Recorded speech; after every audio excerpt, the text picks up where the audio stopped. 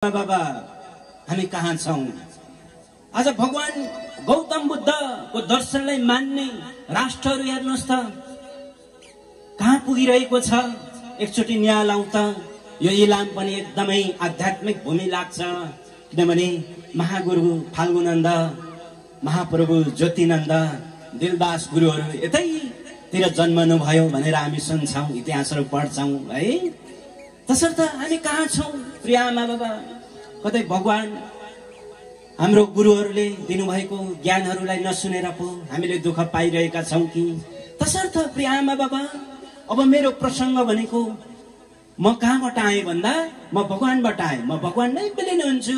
तसर्थ मैले सुरुमा भनेको छु नि हामी जति बाँच्छौँ आजदेखि असल हुने ल। असल कसैलाई पनि नढाँट्ने नछल्ने होइन? खुसी आनन्द। एक छाक खाना लाउन पुगोस् बस त्यतिमा रमाउने धेरै लोभहरू नगर्ने ल। धेरै लोभहरू गरी पठायौँ भने पनि राम्रो हुँदैन है? कति पैसाले पनि पुग्दैन है? पैसा कमाउँछौ ऋण अर्कालाई दिन्छौ उल्टो सत्तुर पो भइजान्छ। ऋण दिएको दिँदै दिँदैन उल्टो बाँच्नु पर्छ यो जमानामा त। यस्तो छ प्रिय आमा बाबा नि यो कलियुगको अन्त्य भन्छ। तसर्थ अब हाम्रो यो दिनहरू औलाको गन्तीमा आइरहेको छ। हिँड्दा हिँड्दै प्रिय आमा बाबा हामी एक दिन ढली जान्छौँ। यो जिन्दगी छनभङ्गुर छ गुरु हजुरले एउटा भजन गाउनु भएको छ। माटोको सारी माटोमै बेल्छ। पानीको सारी पानीमै मिल्छ हावाको हावा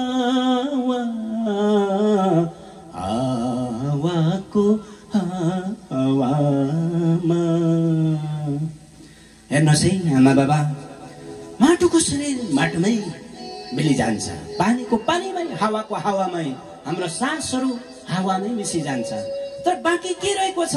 धर्मशास्त्रहरूले भनेको छ नि न त आगोले डढाउँदा डढ्छ न त पानीले पखाल्दा पखालिन्छ त्यो अजर छ अमर छ हाम्रो आत्मा।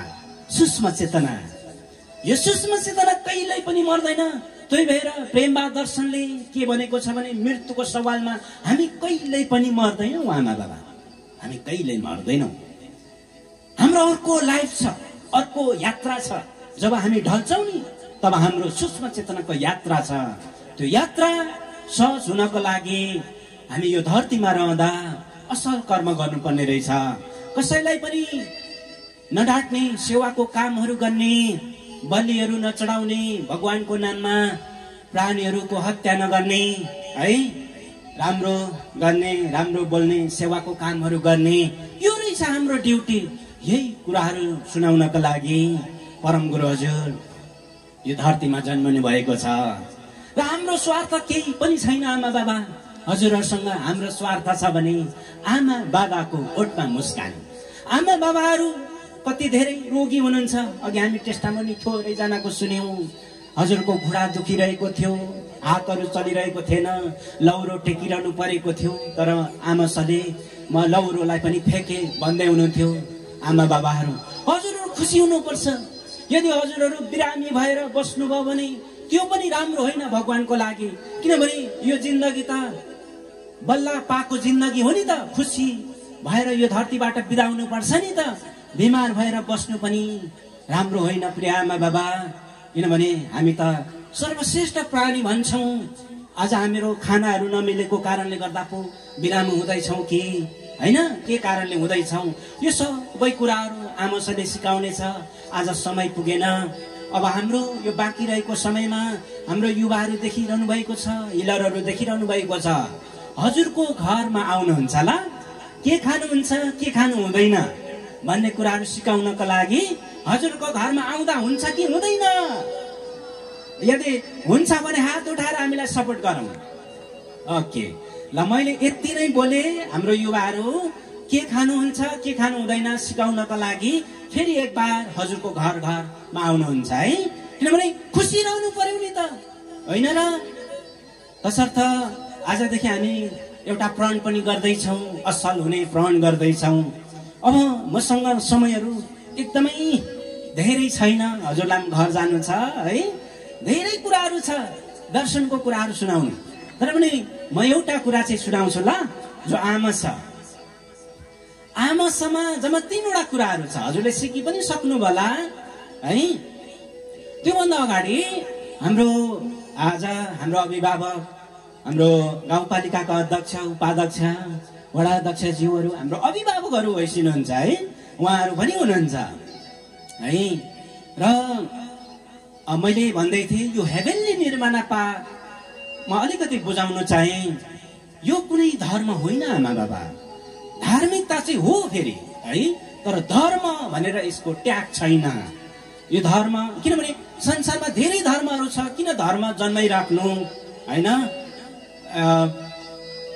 तसर्थ यो धर्म होइन। यो चाहिँ एउटा दर्शनको रूपमा आएको छ है? एउटा सङ्घको रूपमा काठमाडौँ जिल्लामा दुई हजार एकसठी सालमा दर्ता भएर नेपालको हरेक जिल्लाहरूमा जिल्ला प्रशासन कार्यालयसँग हामीले अनुमति लिएर यो कार्यक्रमहरू गरिरहेका छौँ है। गाउँपालिका त स्थानीय सरकार पनि धेरै अधिकार सम्पन्न छ नि त। हाम्रो संविधानले दिएको अधिकार भित्र हामीलाई पनि धेरै नियमहरू बनाउने अधिकार छ नि त। तसर्थ यसरी हामी चाहिँ सहकार्य गरेर कार्यहरू गर्न सक्छौँ है। सेवाको कामहरू अगाडि बढाउँछ। धेरै कुराहरू छ र मैले बुझाउनु खोजेको यो धर्म होइन। यो एउटा दर्शन यो चाहिँ दर्शन चाहिँ प्रेमवाद भन्छ। के रहेछ आमा बाबा? एकचोटि भन्नुहोस् त हजुर। प्रेमवाद सबैले बोलाउँ के रहेछ हजुर? ओके। प्रेम भनेको प्रेमको विचार प्रेमको दर्शन प्रेमको सिद्धान्त हो। किनभने प्रेमका साथ अगाडि बढौँ होइन? जे काम गर्दा पनि प्रेमका साथ काम गरौँ है?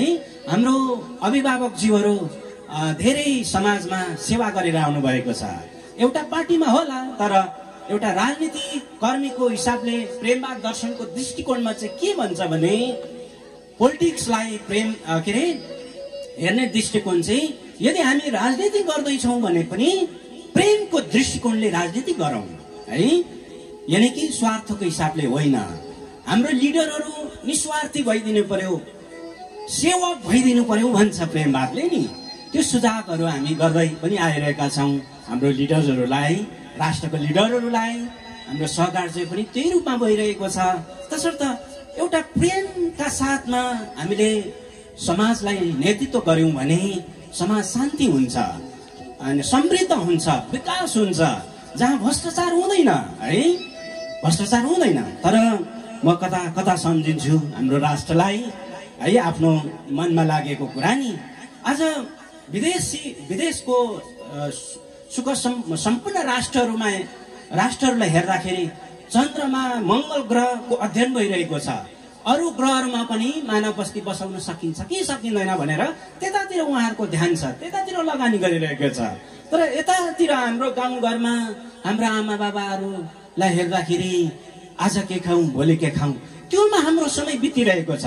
हाम्रो युवाहरू विदेश पलायन भइरहेको छ। यो चाहिँ दुःख लाग्दो कुरा नि आमा बाबा है? आज हामी कहाँ छौँ? हाम्रो लिडरहरू सही भइदिएको भए सायद यो राष्ट्र कहाँदेखि कहाँसम्म पुग्थ्यो होला जस्तो लाग्ने। तसर्थ सही लिडरहरू जन्माउनु पर्छ र आमा बाबा हजुरहरूको हातमा छ यो कुरा है? आज हाम्रो लिडरहरूले होइन चुनाव ताका के भन्नुभएको थियो? आमा बाबा हजुरलाई हात जोड्दै हजुरको स्वास्थ्य फ्री है? अनि शिक्षा फ्री हामी फ्रीमा पढाउँछौँ। स्वास्थ्य। त्यो बाचाहरू गर्नुभएको थियो तर सबै भुल्छ के गर्ने? है? किनभने धेरै चुनावमा खर्च हुँदो रहेछ नि त होइन? करोडौँ खर्च हुन्छ। होइन? यो प्रविधिहरू छ। यो मैले बोल्ने कुरा त होइन तर यथार्थ कुरा यही हो आमा बाबा। के भइरहेको छ हाम्रो समाज? हाम्रो गुरुहरूले भन्नुभयो के भन्नुभयो भने हे युवाहरू हजुरहरू गाउँ गाउँ जानुहोस् आमा बाबालाई भेट्नुहोस्। म भेट्न सकिरहेको छैन। किनभने आमा बाबाहरू रोइरहनु भएको छ। घुँडा दुखिरहेको छ टाउको दुखिरहेको छ राम्रो उपचार पाएको छैन हस्पिटल जाउँ के गर्ने पैसा छैन। लाख रुपियाँ हजुरलाई डिपोजिट भएन भने उपचार हुँदैन। खोइ त हाम्रो नेताहरूले भाषा गर्नुभएको आज हस्पिटलहरूमा राम्रो सेवा हुँदैछ त। यो हामीले निहाल्नुपर्छ है। र हाम्रो अभिभावकज्यूहरूलाई पनि म यही आग्रह गर्छु। ल है हेबेली निर्माण पात एउटा सेवाको मार्ग हो उदारको मार्ग हो सुधारको मार्ग हो। यदि हामी गाउँघरमा झाडक्सीहरू ज्यादै खाइरहेका छौँ भने होइन यो पनि नखाउँ भन्छौँ तर बाबा आमा त खानुपर्छ नि थोरै। औषधिको रूपमा खानुहोस् पनि भन्छौँ तर झगडा गर्ने लडाइँ गर्ने होइन नखानु भन्छौँ है? यो एउटा कुरा रह्यो दोस्रो कुरा चाहिँ बलि भोग नगरौँ भगवान्को नाममा। मासुहरू खायौँ भने क्यान्सर रोगहरू लाग्छ आमा बाबा है? अनि भगवान्ले कहिले पनि बलि माग्दैन कुखुरा माग्दैन हजुर। कुखुरा माग्दैन पाठा माग्दैन। बिचरा कति खत्र खत्र उफ्रिँदै खेल्दै गरेको पाठाहरू हे परमेश्वर मेरो छोराछोरी राम्रो होस् धन सम्पत्ति होस्। होइन? भनेर पूजा गर्छौँ पाकै काटी पठाउँछौँ पक्कै भगवान्ले हजुरलाई राम्रो आशीर्वाद दिँदैछ कि श्राप पो दिँदैछ? त्यो सोच्नुपर्छ जस्तो लाग्छ आमा बाबा है भगवान् आफ्नै सन्तान हो नि त। भगवान्को हामी तपाईँ हामी पनि उहाँको सन्तान हो नि त। आफ्नै सन्तानको रगत हजुरलाई चाहिँ काटेर दियो भने हजुर खानुहुन्छ कि श्राप गर्नुहुन्छ? उल्टो श्राप दिनुहुन्छ नि हजुरहरूले होइन र? त्यो हो नि खासमा। र हामी यदि त्यो होइन त्यो कुराहरू गर्दैछौँ भने त्यहाँबाट माथि उठौँ। अन्धविश्वास भन्दा माथि उठौँ भन्छौँ आमा बाबा ल। ल मैले अब एकदमै सर्टकटमा आज बोलेको छु किनभने म यताउता गर्दै बोलिरहेको छु। र अब मेरो विषय आमस है। आमस। आमासँग मैले तिनवटा कुरा छ भनेको छु। एउटा आत्मा अर्को मन र शरीर। के के रहेछ भनौँ त आमा बाबा? ओके ल याद गर्नुहोस् ल। अनि आ आमास चाहिँ अब यसो छामछाम छुमछुम गर्दा मसाज सम्झिनु भयो होला है। मसाज गरेको भए निको हुन्थ्यो त हजुरको। मसाज सेन्टरहरू बजारमा छ। मेसको रहस्य थोरै बुझाउँछु ल आत्मा मन शरीरको उपचार विधि हो। यो चाहिँ परम गुरुजीले आविष्कार गर्नुभएको यो साइन्स हो हजुर। आध्यात्मिक पनि छ र साइन्स पनि छ यहाँनिर। यो कुनै अन्धविश्वास होइन। यो यहाँ साइन्स लुकेको छ। यसको साइन्सको आँखाले हेर्नुपर्छ। त्यही भएर मात्रै निको भएको आमा छ है? र आमासले कसरी निको पार्छ भन्ने थोरै बुझौँ है? आमासले एउटा औरा शक्ति छ यो ब्रह्माण्डमा नि? जस्तै यो धरतीमा हामी उभिरहेका छौँ जस्तै चन्द्रमामा हामी उठ्न सक्दैनौँ किनभने त्यहाँ अक्सिजन छैन। यहाँ धरतीमा उठ्नको कारण विज्ञानले के भन्छ? यो धरतीको पृथ्वीको गुरुत्व आकर्षण बलको कारण हामी यसरी उठ्न सकेका छौँ। तर चन्द्रमामा जाने हो भने फलाम पनि ढिलो झर्छ भन्छ होइन साइन्सले विज्ञानले। तसर्थ यो एउटा आकर्षण बलको कारण हामी यहाँ उभिएका छौँ होइन? यो सौर्य मण्डलभित्र हामी छौँ नि त अरू प्लानेटहरू यो ब्रह्माण्ड त बडो रहस्यात्मक कुरा छ है हजुर। यो आकाशको बाटो कहाँ गएर टुङ्गेको होला? यो कपालमा कतिवटा केस होला आमा बाबा? थाहा छ कि छैन हजुरहरूलाई? यो रहस्यको कुराहरू। आफ्नै कान्छी औलाको नङलाई हेर्नुहोस् त एक बार हजुरले। कसरी बनेको होला? हजुरलाई के थाहा? आफ्नै शरीर के थाहा? त्यो ब्रह्माण्ड त्यो भगवान्को त के थाहा जानु होइन र? त्यसर्थ यस्तो रहस्यको कुराहरू छ। यो ब्रह्माण्डमा एक खालको औरा शक्ति छ।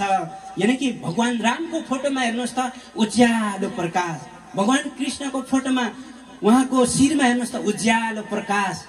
हो यस्तो औरा शक्ति चाहिँ हजुरमा पनि छ ममा पनि छ। यो औरा शक्तिलाई हामीले धरतीको शक्ति हातमा लिन्छौँ नाभिमा राख्छौँ। पूर्व पश्चिम उत्तर दक्षिण होल स्काई होइन? यो ब्रह्माण्ड ब्रह्माण्डीय शक्तिहरू हातमा यो आध्यात्मिक साधनाबाट मात्रै हुन्छ। जम्मा एक्काइस दिनको साधना हुन्छ एक्काइस दिन है? एक्काइस दिनको साधना पछि हामीले यो शक्ति हाम्रो हातमा लिन्छौँ। र यो शक्ति अहिले अहिले हेर्नुहोस् है म म कहाँ यो आइ पनि रहेको छ यो मैले त्यत्तिकै यो गरेको होइन हात हजुर है? यो औरा शक्ति अहिले च्याप आएको छ यो मैले त्यत्तिकै गरेको होइन आमा बाबा। हजुरलाई भरे मेडिटेसनमा थाहा हुन्छ। है? यो आफै आफ मैले कुरा गर्दा गर्दा पनि आएको छ। है? यो शक्ति चाहिँ हाम्रो हातमा यसरी लिएपछि हामी हजुरलाई रेको माध्यमबाट हाम्रो औँलाहरूबाट चाहिँ हजुरको रोगमा फोकस गर्छौँ। है? फोकस गर्छौँ। जहाँ हजुरको रोग छ नि जस्तै मुटुमा समस्या छ टाउकोमा छ होइन? हामी कसरी बिराम हुन्छौँ? हाम्रो सानो सानो सेल्स हुन्छ। शरीरमा नि त्यो सेल्सहरू मरेको कारणले हामी बिरामी भइदिन्छौँ। अनि त्यो सेल्समा चाहिँ एकदमै हिलरहरूले चाहिँ फोकस गरेर हिलिङ दिन्छ यसरी है औरा शक्ति दिनुहुन्छ।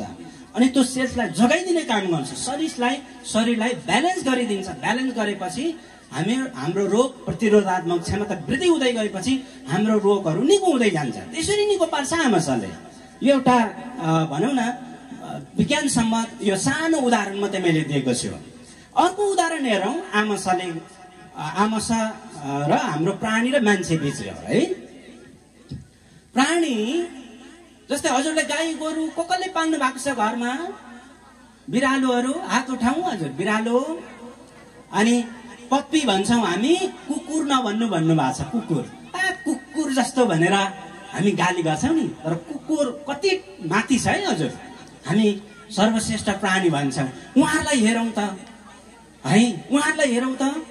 घरमै हेर्नु भएको छ बिरालोलाई आफै योगा गरिरहेको देख्नु भएको छ। पप्पीहरू आफै कुदिरहेको होइन? औषधिहरू खोजी खाइरहेको देख्नु भएको छ नि होइन? अनि उहाँहरूलाई हेर्नुहोस् त। भूकम्प आउनुभन्दा अगाडि भुक्नुहुन्छ। गाई गाई गोरुहरू दाम्लो चुडाउला जस्तै होइन? भुक आउनु कति उहाँको सेन्स टाढो होइन?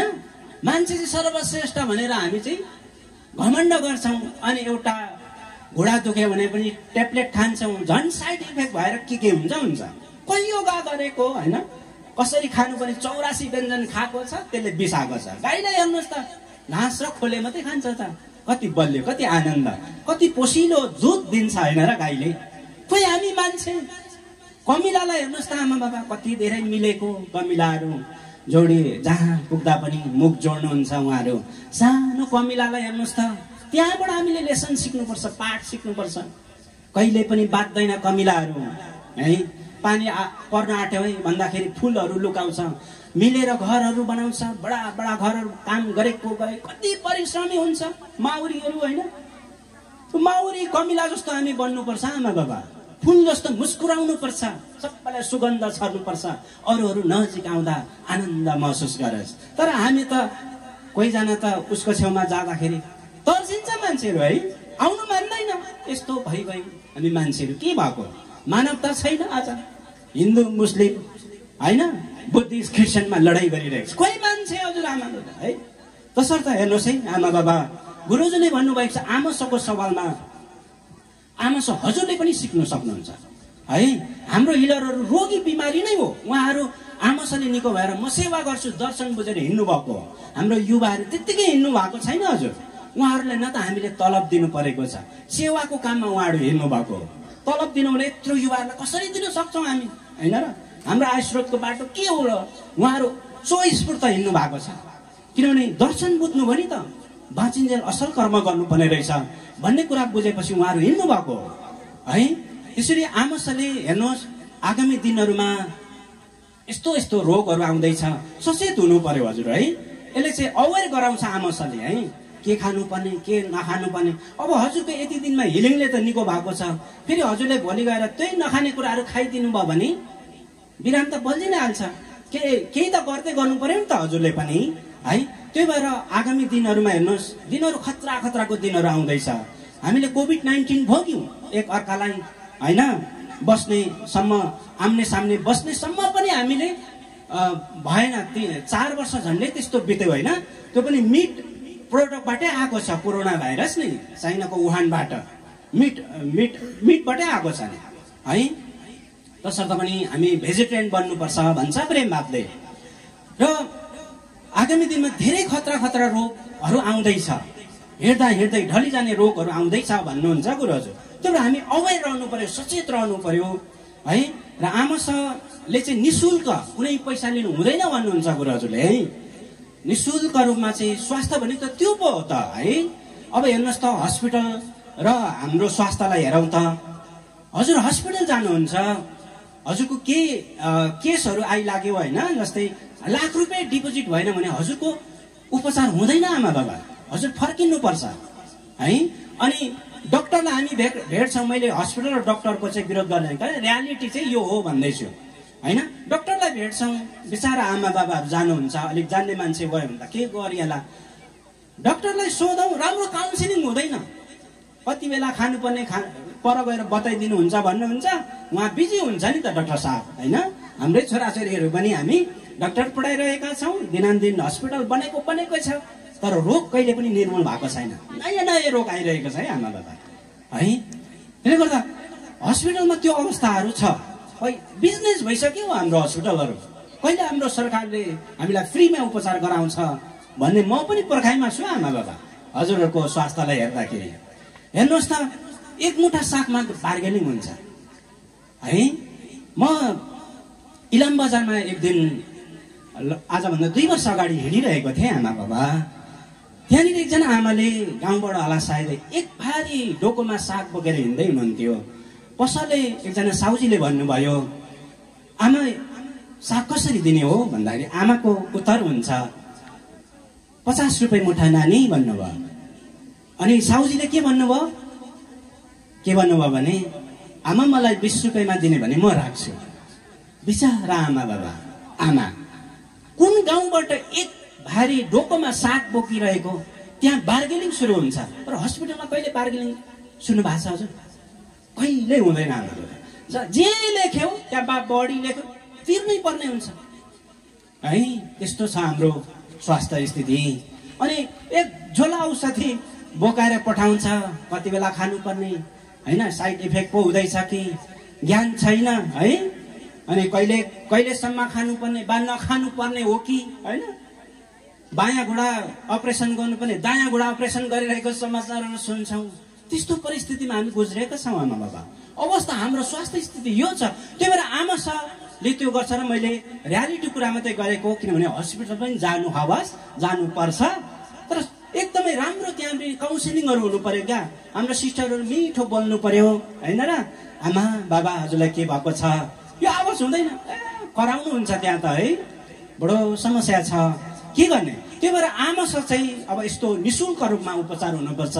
आमाहरू खुसी हुनुपर्छ बाबाहरू रोगीहरू निरोगी बन्नुपर्छ भनेर गुरुजीले आविष्कार गर्नुभएको हजुरहरूलाई हेरेर र म हाम्रो अभिभावक जीवहरू पनि यहीँ होइसिनुहुन्छ।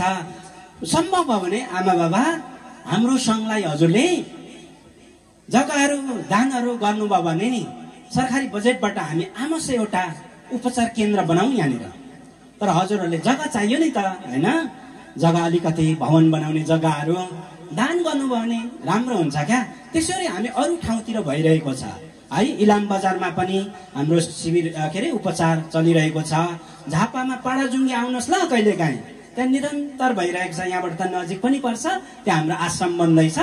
हजुरलाई पीडाहरू भयो भने एक दुई हप्ता बस्दै आउँदा पनि हुन्छ। गाडी भाडा लाग्छ खानुको लागि झापामा धान फलेकै छ चिन्ता छैन आमा बाबा। घरमा साह्रै चिन्ता पर्यो बिरामी भयो भने पढाजुङ्गी आश्रममा आउनुहोस्। अथवा यहाँ यहाँ पनि हाम्रो भवन छ त्यहाँ पनि जानु आवास यहाँ पनि व्यवस्थापन गर्दै जाउँ। त्यही भएर हाम्रो सकिन्छ भने हाम्रो गाउँपालिका अध्यक्षज्यू उपाध्यक्षज्यू वडा अध्यक्षज्यू एउटा आमा बाबाहरूको लागि एउटा यो आमस उपचार सेन्टर हजुरहरूले बनाइदिनु भने कति राम्रो होइन र यहाँ निशुल्क उपचार होस्। किनभने आमसले यस्तो यस्तो रोगीहरू जो चाहिँ पच्चिस वर्ष नहिँडेको आज हामीले प्रोजेक्टर हेरिनौँ होला आमा बाबा समय रह्यो भने भरे हेरौँ। पच्चिस वर्ष नहिँडेकोहरू हिँड्नु भएको छ। आँखा गुम आँखाको ज्योति गुमेको आँखा ज्योति फर्केको छ है? त्यस्तो त्यस्तो केसहरू छ नि आमा बाबा है? ल अब हजुरसँग मसँग समय छैन सुनाउनु पर्ने धेरै कुराहरू थियो। गुरु हजुरको जीवनी गुरु हजुर को हुनुहुन्छ भन्ने सुनाउनु मन थियो। अब फेरि पनि गुरु हजुर यहाँ आउनुहुनेछ।